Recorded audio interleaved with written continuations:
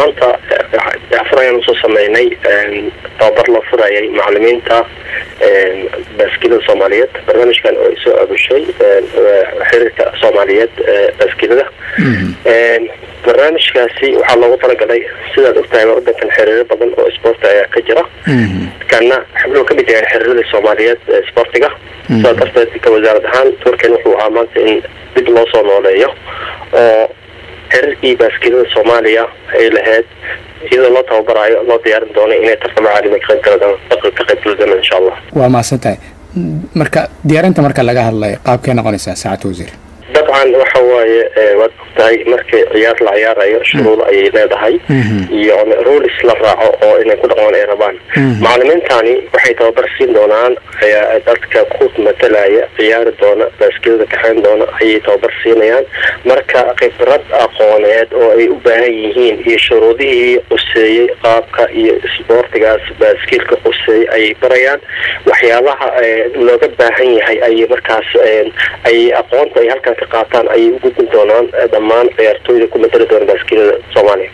Waa tahay marka iyaga yaa siinaya marka tababarada?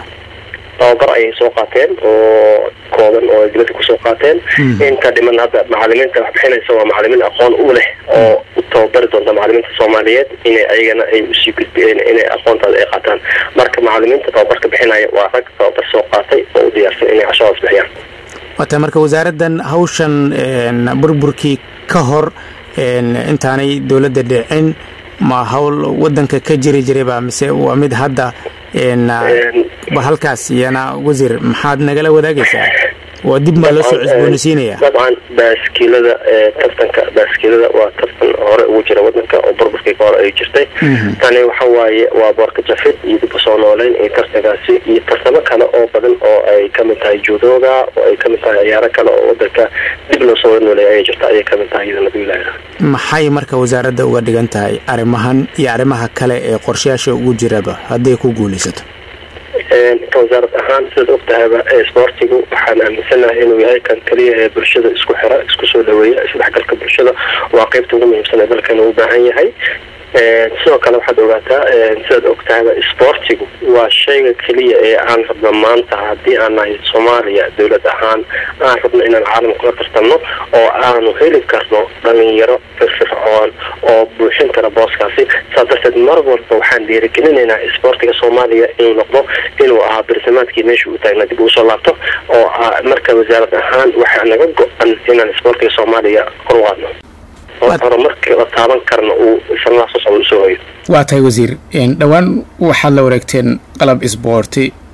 Yaa idinkugu deeqay? Taa way jirtaa runtii. Waxaa jirta qalab isboorti oo ay ugu deeqday. Spain mishinka ciidamada ka jooga soomaaliya oo loo soo marsiiyey oo ay soo dirtay degmo ka mid a degmooyinka dalka spain oo loogu talagalay isboortiga soomaaliyeed oo qalabkaas waa qalab isboorti oo kubadda cagta. Waxaana ku wareejinay xiriirka soomaaliyed kubadda cagta. Qalab loogu talagalay afar naadi ayuu ahaa. Haddana qalab kale oo isboorti oo ay talyaaniga bixinayo aan dhawaan soo gaari doona sugaya iyana hadduu ilaah yiraahdo waxaan rabnaa dhammaan in dhiirigelintaasi waana dalab aan u sameyno horay oo ay ka soo jawaabeen. Haddana waxaan kula jaweynaha inaan sidoo kale qalab isboortina u helno qeybaha kale isboortiga sida basketboolka haniboolka iyo dhammaan waxaan wasaarad ahaan waxaan u mar walba baahida jirta markaasi ay noo soo gudbinaya xiriirada jirta ayaan rabnaa anagana inaan buuxino. Mar walba waxaan u taaganahay isboortiga soomaaliyeed inuu xagiisa isku taago oo guul la taaban kara ay soo hoydo. Marka arrintaana way jirtaa mar walbana waxa mar walba wixii aan awoodno oo karaankeena ah iyo wixii ay noogu deeqaan dowladaha saaxiibkada ah soomaaliya ayaa anagana hore gacan ka geysan doonaa inaan ummadeena aan la wadaagno insha waa tahay waxaa kaloo jira iyana tartano kala gedisan oo hadda magaalada muqdisho ee caasimada gobolka banaadir iyo gobollada qaar ee dalka soomaaliya.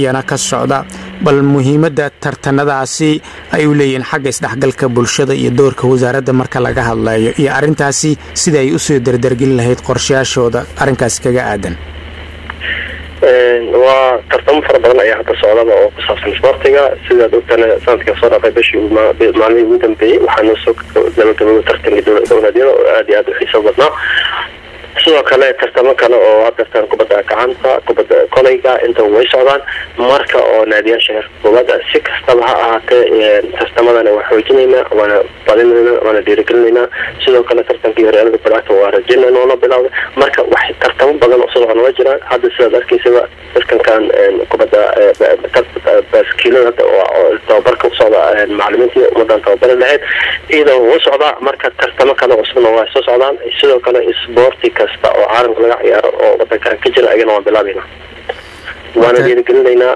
isboortiga soomaaliyeed inuu hor u kaco.